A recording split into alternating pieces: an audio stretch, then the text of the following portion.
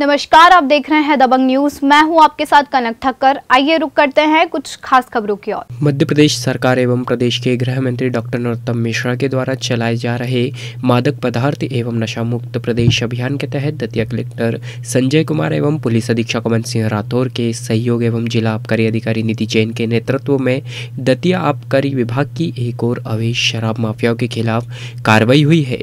मुखबिर की सूचना पर सेवड़ा पुलिस के सहयोग से मुबारकपुर, कंजर डेरा पर दबिश दी गई, जिस दौरान 4000 किलोग्राम गुड़लाहन एवं 150 बल्क लीटर हाथ भट्टी शराब एवं बनाने के उपकरण 21 नीले ड्रम जब्त किए गए, जिसकी कुल राशि दो लाख तिरसठ हज़ार तीन सौ रुपये आकी गई।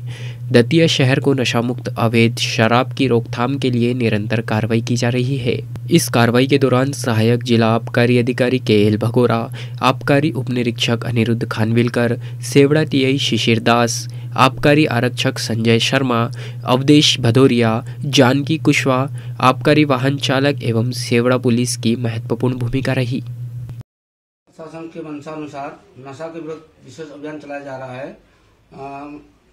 एस कलेक्टर महोदय, एसपी साहब एवं जिला आबकारी अधिकारी के निर्देशानुसार आज एक बड़ी कार्रवाई पुलिस बल के साथ में सेवड़ा में की गई है।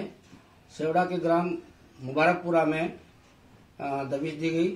उक्त कार्रवाई में 4000 किलोग्राम लहान 150 लीटर हाथ भट्टी शराब और विभिन्न उपकरण बरामद किए हैं, जिसमें लोहे की भट्टियाँ भी है और नीले ड्रम भी हैं। उक्त कार्रवाई में थाना प्रभारी सेवड़ा भी साथ थे। इन सभी सामग्री की अनुमानित कीमत दो लाख तिरसठ हज़ार तीन सौ रुपये है और इस प्रकार की कार्रवाई हम सतत जारी रखेंगे। सर इसमें कोई आरोपी पकड़े हैं क्या? नहीं आरोपी चूँकि रोड से नीचे गाँव में था तो देखते ही सभी लोग भाग निकले महिलाएँ थी और योजना जारी है। दतिया से रजनी लिटोरिया की खास रिपोर्ट।